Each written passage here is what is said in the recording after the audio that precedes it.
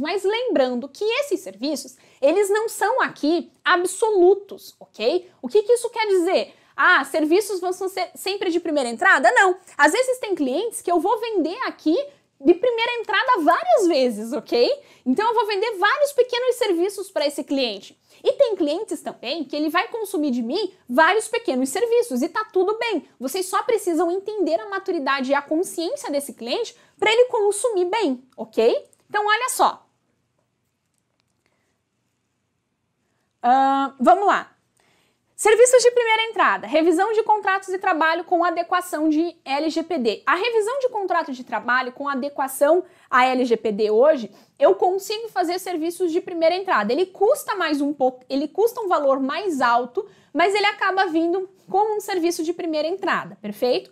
Elaboração do banco de horas, uma consultoria pontual, que pode ser um parecer, enfim, ou até mesmo, ah, eu coloquei parecer, eu separei Consultoria pontual, que normalmente é uma dúvida, é a hora que a pessoa paga. E aí a sua hora, sei lá, 250, 300, 450, 500 reais a sua hora de uma consultoria pontual, ok? Assessoria jurídica mensal é aquela mensal aqui. Uma, uma ideia muito legal da assessoria jurídica mensal e uma forma que vocês podem usar até mesmo para persuadir o cliente de vocês a fechar, já que é muito difícil cair um cliente, e alguns clientes têm alguma resistência aqui ok?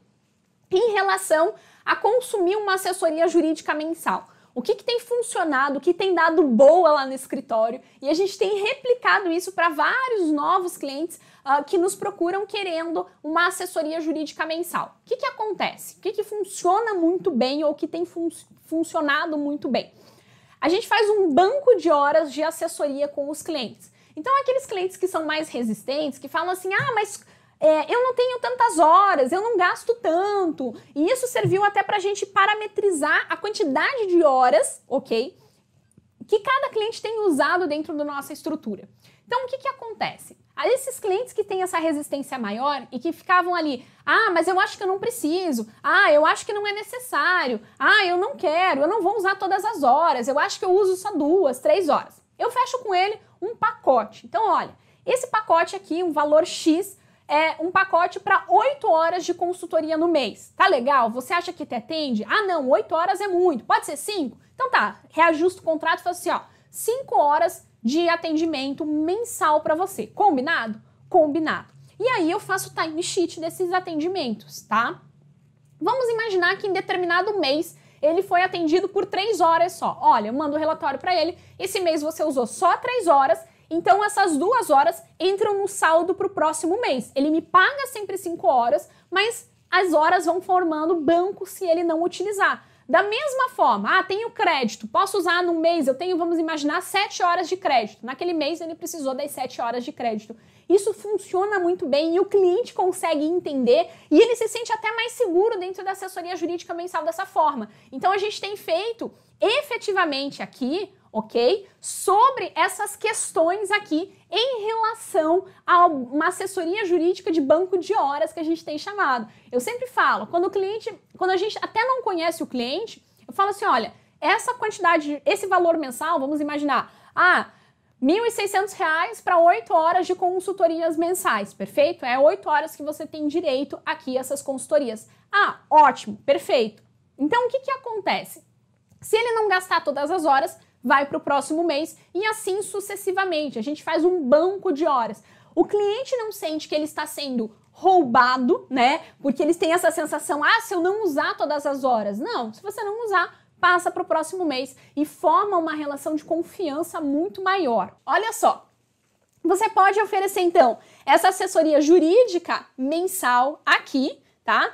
O parecer jurídico, uma assessoria no procedimento de sindicância, Gente, teve uma época, não sei se vocês, quem, quem me segue há mais tempo, quem me segue há menos tempo, mas enfim, deixa eu contar para vocês um, um, um lado que eu tenho dentro do meu, da minha certidão de antecedentes aqui é ser a rainha das dispensas por justa causa. Lá no escritório, desde quando eu trabalhava no outro escritório e agora, desde que eu tenho o meu escritório, todo mundo fala assim, ó, ela é que manda na parada da justa causa. E a gente tinha muita justa causa. Teve um feriado do carnaval, assim, para mim, eu acho que até hoje foi um dos feriados de carnavais que eu mais demiti gente por justa causa, dispensei gente por justa causa. Eu acho que foram cinco demissões dentro de uma mesma empresa no feriado de carnaval. Mas é que a galera também passava do limite. E aí, isso começou a se tornar um serviço dentro do escritório.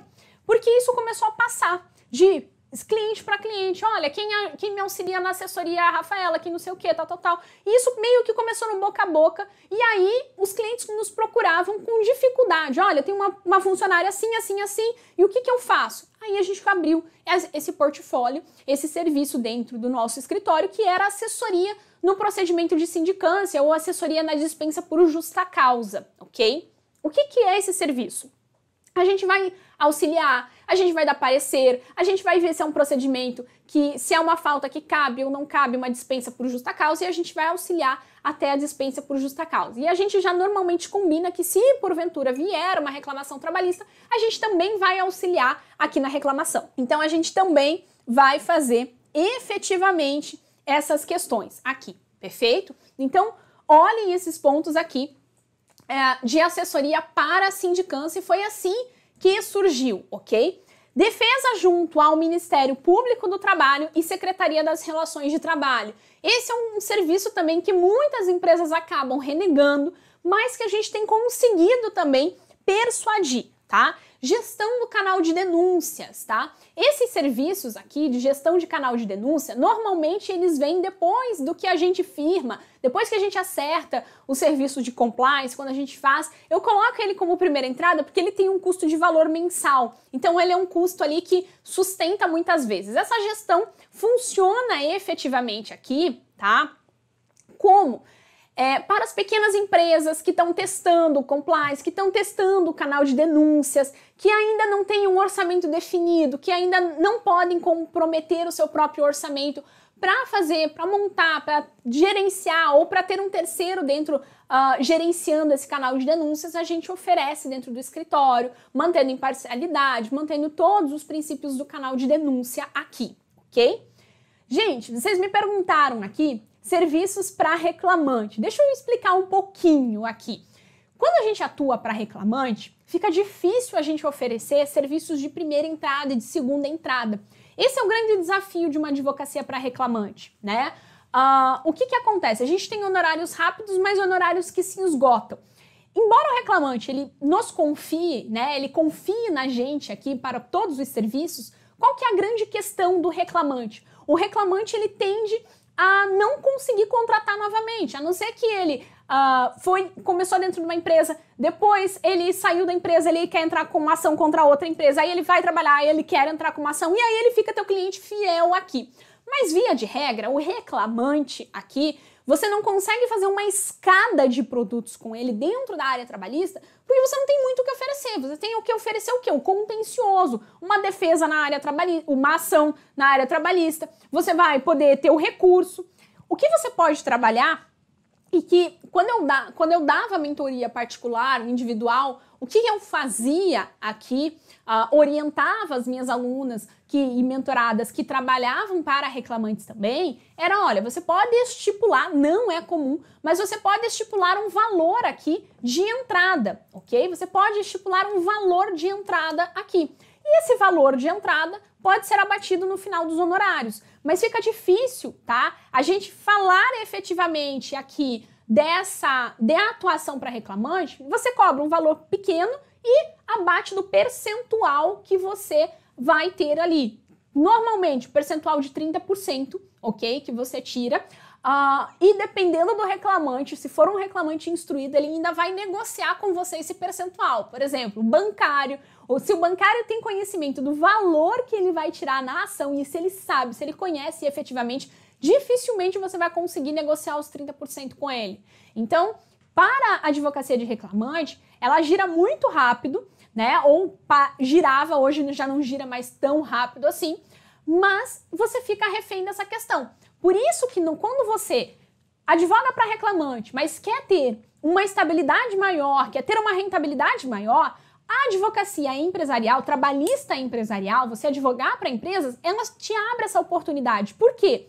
Enquanto para o reclamante você tem apenas aqui a oportunidade de oferecer a ação trabalhista, o acompanhamento dentro da ação trabalhista, quando você atua para a empresa, ainda que seja dentro do contencioso, o contencioso ele se torna a porta de entrada para todos esses serviços que a gente está falando. E principalmente porque se você tem um contencioso do seu cliente, né? Se você tem um contencioso daquela empresa, qual é a grande questão? Você conhece a empresa de A a Z em todos os furos.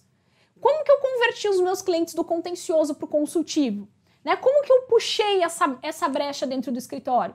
Analisando o contencioso deles, lendo a ação, lendo todas as ações que eles tinham, as iniciais, quais eram a sentença, quais eram os problemas. Eu chegava na reunião, eu simplesmente destruía, nem meu cliente sabia dos problemas que ele tinha. E ele ficava assim: Nossa, Rafaela, você estudou tudo isso? Você sabe então de todos os problemas? Sim, eu fiz questão de estudar, por isso que eu estou oferecendo aqui esse serviço. Por isso que eu acho importante esse serviço para dentro do seu escritório. Você tem chance de parar de receber essa reclamação, essas reclamações, e a gente parar de ter esse contencioso absurdo se a gente começar a tomar essas atitudes.